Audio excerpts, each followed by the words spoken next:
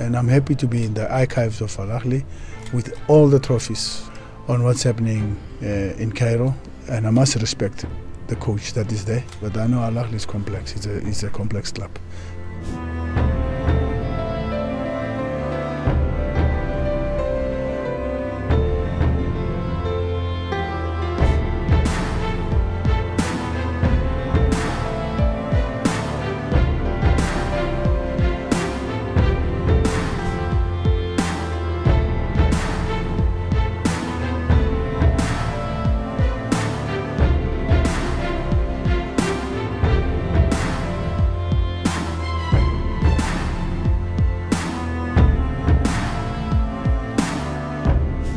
Someone replaced you at Al Ahly.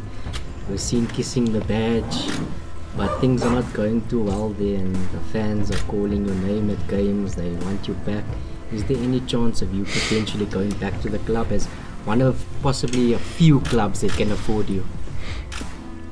Uh, I don't like the afford part. I like the football part. You know, I, I think the football uh, will affect the, the, the, financial part. So you must do the right job first.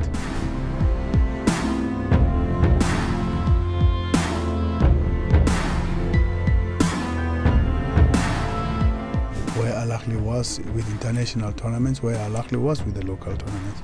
With the local tournaments, Al Ahly is always strong. They've been winning the league. When I came over there, I finished the league that was already won, to be honest. But I'm happy to be part of that, you know, because also when we when we handed over the trophy and the medals and whatever, now I, I must sit there on the side when I've done the last seven games. So I, I had to, to be part of the team, and it would sound bad if if I really sit on the side. But um, look, we have won a lot of things, and I'm happy to be in the archives of Al with all the trophies, all the trophies that we have, been, we have done, and, and repetition and repetitions also.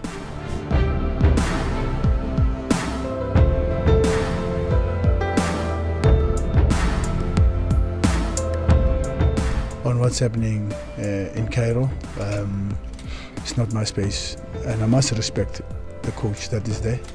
He's there, and uh, he's a European coach. He come from pro license, you those things. You know the story.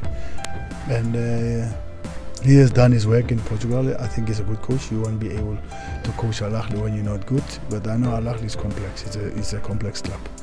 And African clubs are complex to, to the European coaches because